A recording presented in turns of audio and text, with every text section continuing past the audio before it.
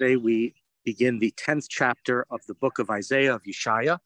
And in um, the last chapter, there were prophecies of terrible devastation and destruction that was going to happen to the northern kingdom, to the kingdom of, of Israel, uh, as opposed to earlier in the chapter where we were told that God will protect the um, God will protect the Davidic dynasty, the city of Jerusalem, and they will have a son born, which, according to many, is the son born to them is um, is a reference to except for Christians who say everything is a reference to Jesus. So, without uh, uh besides that, let us continue now. Chapter ten. Hoy, amal kitevu. Those who write out evil writings and compose terrible, evil documents. La'atot midin dalim v'legzol mishpat anyei ami liot almanot shlalam v'et yitomim yavozu.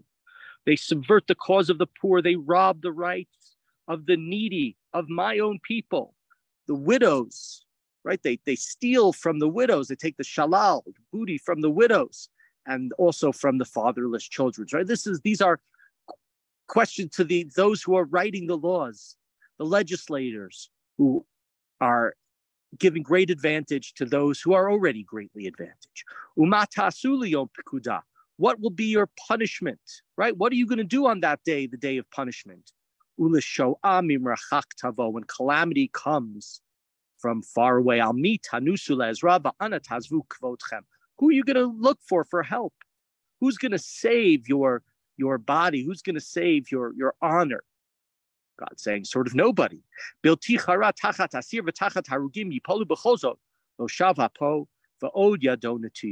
From collapsing under the fellow prisoners, from falling beneath those who are already killed. And here, in yesterday's chapter, three times we have this phrase, and here we have it for a fourth time. Still, nevertheless, even with all the destruction and all the horrors, God's anger has not abated.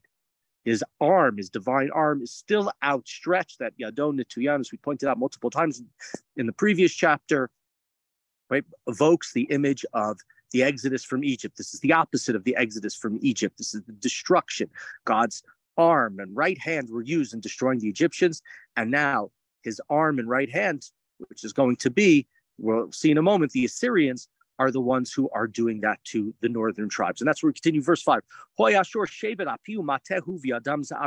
Assyria, the rod of my anger, in whose hand as a staff is my fury. Right? They are the instrument for God to destroy Bnei Israel.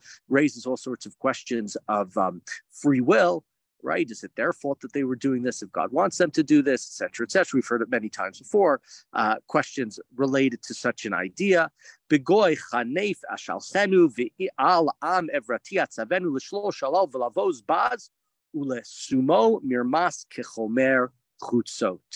I send him against an ungodly nation. I charge him to provoke, to go at my people, right? Because this is talking about them attacking Bnei Israel. They're going to take all the spoils. They're going to trample everything on the streets. But he has evil plans. His mind has evil designs. For he means to destroy, to wipe out nations not a few. He's going to wipe out many nations. And so, uh, who's this referring to? Those who say Sancherev. There are others who say it's it's the king before uh, Sancherev. Um, but what's interesting here, it's sort of like we just raised the question. I just mentioned it, right? The question of, uh, of free will with divine foreknowledge, if God is telling you to do this. But what seems to be appearing from this second verse is, yeah, God's going to make them the uh, the rod of His anger against Bnei Israel, but the person who he's doing this to are is already the executioners. It's already this violent army. So it's not as if he's taking the you know the peace loving um, I don't know the peace loving Hindus or whatever, and he's turning them into violent murderers. These are people who are already marauders who already want to destroy. Kiomar in verse eight, Kiomar hello sarai yachtav milachim, because he's going to think. After all, I have kings as my captains, right? He's so great that that that people who in other places would be kings are just his captains. No, imloch, arpad, chamat, imloch, damesek, shomron.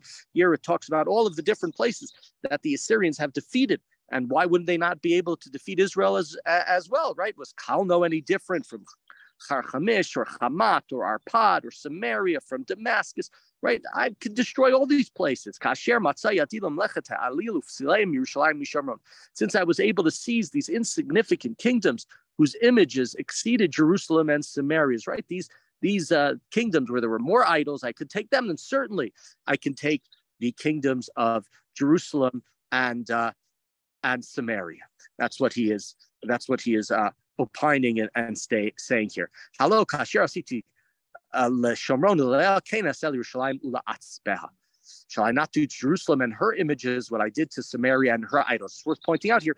This is happening. This prophecy, we go back all the way to chapter 8, I believe it was, where this prophecy began. And it was in the time of Achaz. Achaz was a wicked king, and Achaz placed idols in the Beit Hamikdash. When we learned about his son Hizkiyahu who replaces those idols in the book of Melachim, uh, we talked about how it's it's almost like it was like a first temple Hanukkah. How he comes and he destroys all of the idolatry, removes it from the temple. It's kind of like the way we think of the holiday of, of Hanukkah. And so it, it, Jerusalem is a place also of idols. Continuing in verse 12. al pri godel levav melech ashur tiferet rum einav.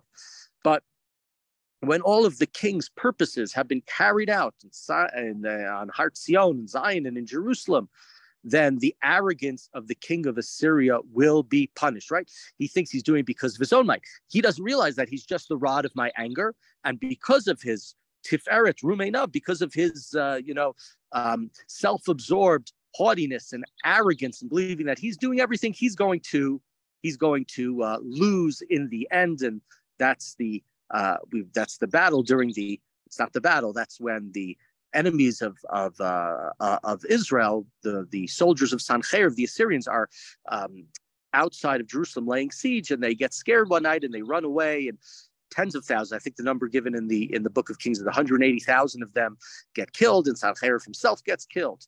Right, and what is what is Sancheiriv, and what are these other uh, um, warriors uh, of the Assyrians saying, verse 13, Ki amar diasitu v'chachmati ki nivhunoti v'asir gvulota amim v'atudehem sosti v'orid ka'abir yoshvim. Right? What do they think, these Assyrians? Through might of my hand, I did this. It was my skill. It was my cleverness. I've destroyed the uh, the borders of people. I plundered their treasures. I'd exiled their vast populations. And this uh, this thing here, we talked about Vlota Amim was something we talked about in the past uh, with the um, population transfer right? The Jews of the northern kingdom were moved and sort of disappeared, and in their place, these uh, Sumerians, known as the uh, the Samaritans, were placed into uh, Israel, and we talked about that also back in the Book of Kings.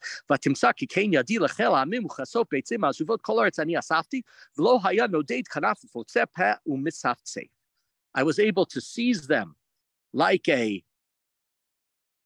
I was able to seize them uh, like a, like a nest, right? It was easy for me. It was just like uh, taking birds out of a nest. That's how easy it was for me to seize this the, these people as one gathers abandoned eggs. So I gathered all the earth, right?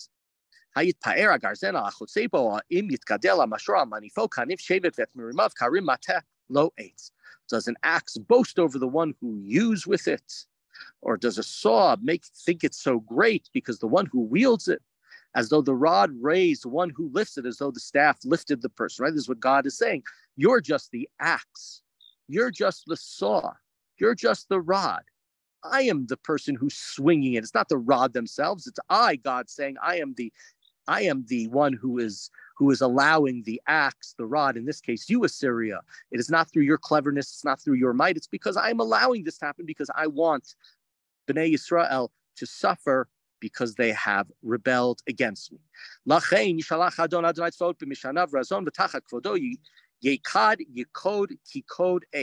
Therefore, right to God, the Lord of hosts will send a wasting away. Right, your body will burn like fire, will destroy flesh, and you will be like an invalid who pines away. You will have nothing. And yet here God shows his um, relationship with Israel remains, the light of Israel will be a fire, and its holy one, meaning God, will be its flame. So, Bnei Israel, you think that it, it's going to be destroyed? No, no, no. It's still a fire, and a fire uh, can can continue to to light, and that's what Bnei Israel are going to be. And will burn and consumes its thorns and its thistles in a single day. And that's again the reference to the miracle where the Assyrians run away from Jerusalem, terrified. And the mass and its scrubs and its farmland, the trees will remain uh, scrubbed, and so few, uh, there'll be so few of them that a child's going to have to record what is happening because all of the adults, all of the soldiers will die.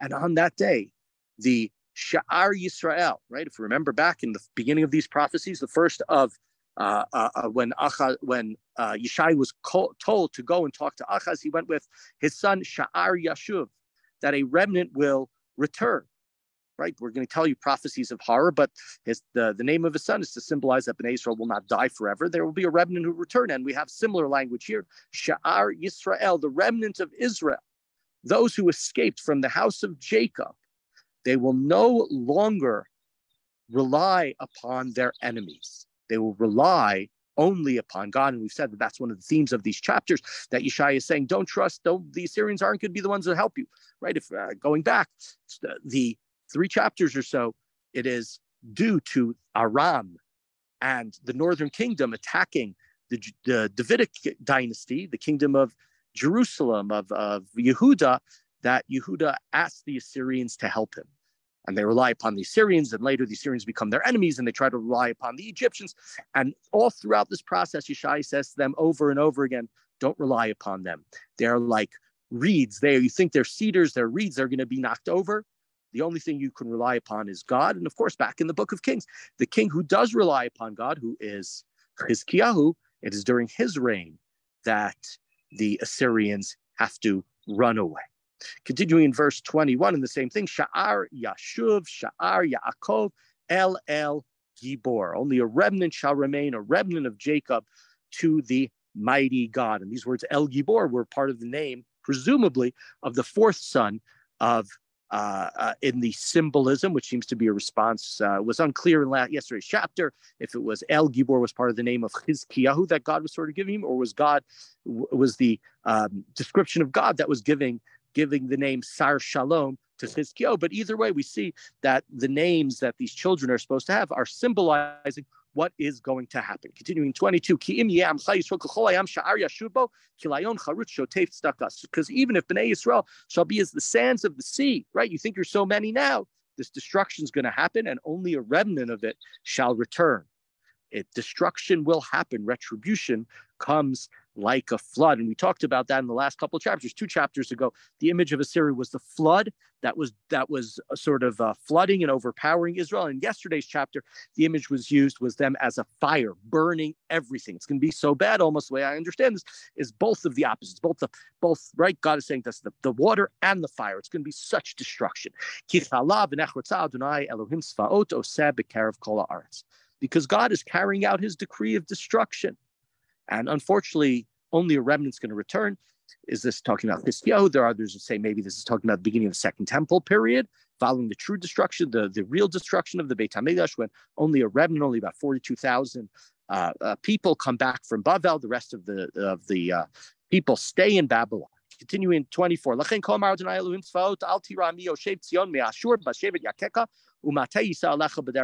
So don't worry, my people who are in uh, who are in Zion, in Jerusalem, right? Don't feel fear the Assyrians, right? Don't fear their staff like you did the Egyptians back at the time of Yetziat Mitzrayim. Ka'od ma'at miza'ar for very soon my wrath will spent itself, my anger will be, will was bent on wasting them.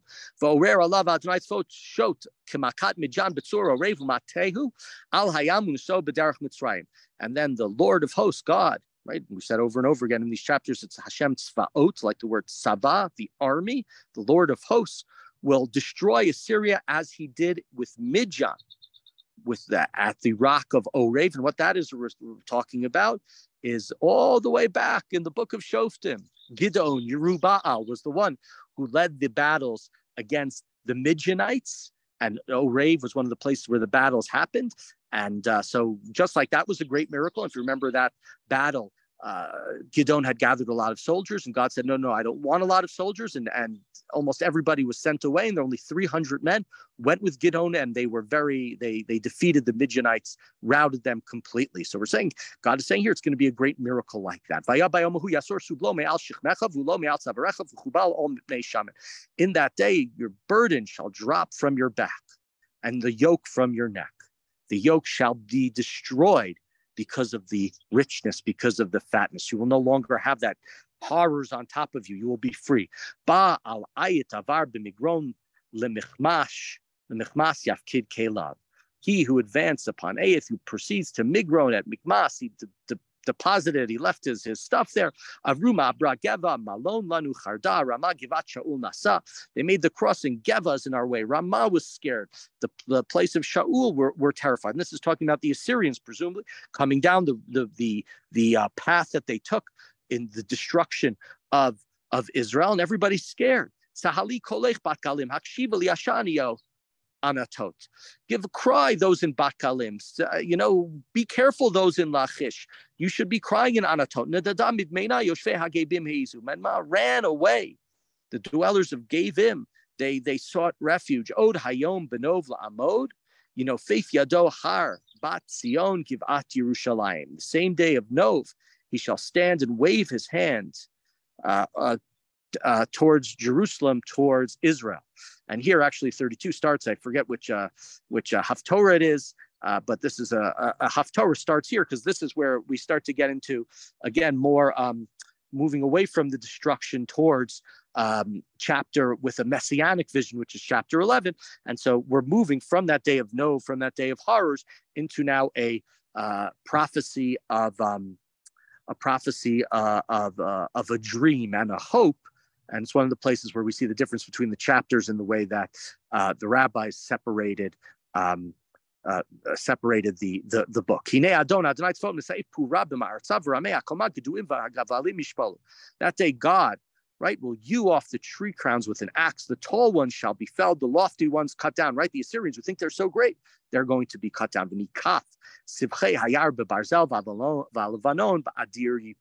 The thick forest, the thickets of the forest will be packed away with iron, and the Lebanon trees shall fall in their majesty. The ones who are coming from north, from the Lebanon, not that the Assyrians were in Lebanon, but they're coming from a northwest, northeasterly uh, way, and so it's it's from places where there are more cedar trees, and the the the, the Arzei Lebanon represent the idea of um, of greatness and therefore haughtiness.